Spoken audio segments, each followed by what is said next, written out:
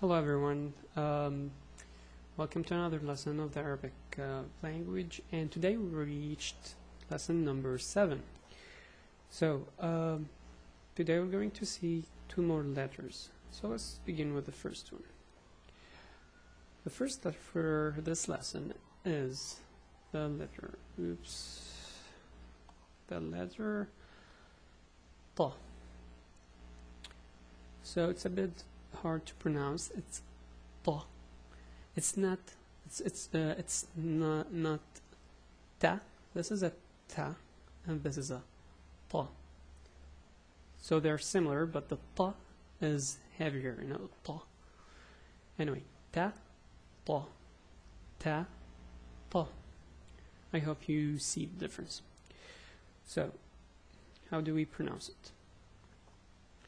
Again, the name of this letter is Ta. The pronunciation is Ta.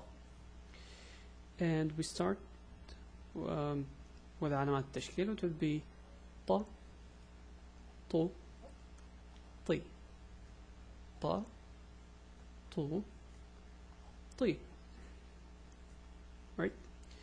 So, before I move on to how we write that in a word, I'm going to show you the next letter, which is exactly the same, but you have a dot. So with the dot, this transforms to be va. The name is va. The pronunciation is va. So take care. It's also hard to pronounce. It's not va. It's va. So this is a va. This is a va you extend your tongue um, further outside your mouth. So va. So I hope also you notice the difference here. So let's pronounce it with علامات التشكيل. It will be va, vu, vi.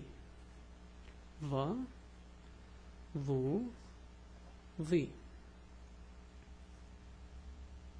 So let's go on to how we write these two letters in a word. This is a fairly easy letter to write. It's a curve, a close curve. Well, anyway, so you go like this. You have a curve, then you have a stick. You can put the stick here. You can put it here. It doesn't. It doesn't matter as long as it's big stick. And if it connects or you have a small gap well it's it's not really a big deal. People will understand that this is a plot. So I have it like this then you connect it from um, from the end. So uh, and in the beginning uh, sorry th this is in the beginning.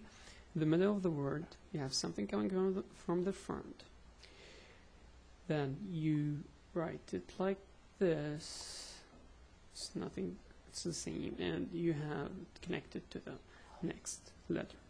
So in the end of the word it's exactly the same. You have something coming from the front then you just write it like that okay?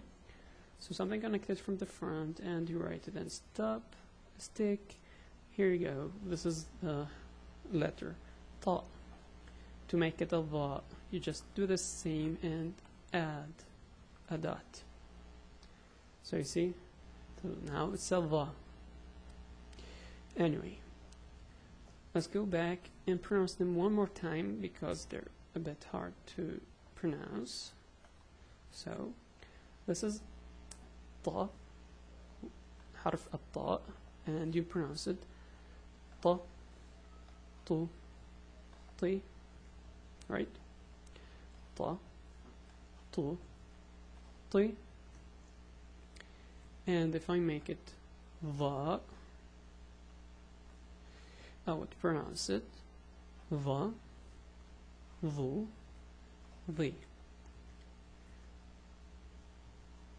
Va, vu, vi. I hope that was helpful. This is all for today and I mean that's all you can um, comment. If you have any questions, ask. Um, I'll be happy to respond for uh, to your questions. Anyway, uh, have a good day, and bye.